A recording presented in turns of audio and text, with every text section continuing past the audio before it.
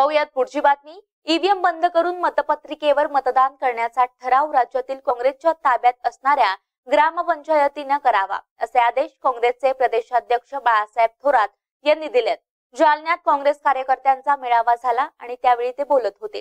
राज्यात सगळी कामं काँग्रेसनं केली असून भाजप आयत्या रेघोट्या ओढत असल्याची टीका थोरातांनी केली आहे पाहुयात ते आणखीन काय म्हणतायत.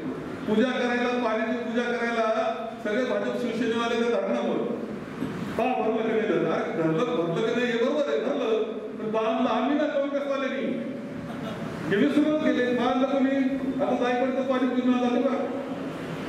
बांधलं कोणी? शंकरराव बांधलं हे लक्षात ठेवा शेवटी जे महत्वाचं काम केलेलं आहे ते काँग्रेसचा केलेलं आहे.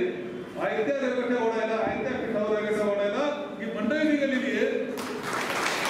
त्याला भक्कमपणे आपण काँग्रेस आघाडीच्या पाठीशी उभं राहायचं आणि आपल्याला पुन्हा काही झालं तरी जेव्हा कदाचित शंका मनामध्ये तुमच्या येते काय ती शंका? की आता लोकसभेला असं झालं लोकसभेला असं झालं फार शंका खाऊ नका. लोकसभेची निवडणूक ते ईव्हीएम ते बी आपण पाहतोय. त्याच्यावर आंदोलन चालू करतोय. ग्रामसभेला ठराव करून टाका यावेळेस तर ईव्हीएम मग मतपत्रिकेवर मतदान घ्यावं. ग्रामसभेत सगळ्यांनी ठराव करायचे. पवार बनायचे पण एक लक्षात ठेवा झालं ते मतदान परंतु छत्तीसगडला राजस्थानला मध्य प्रदेशला आपलं सरकार आलं दिल्लीला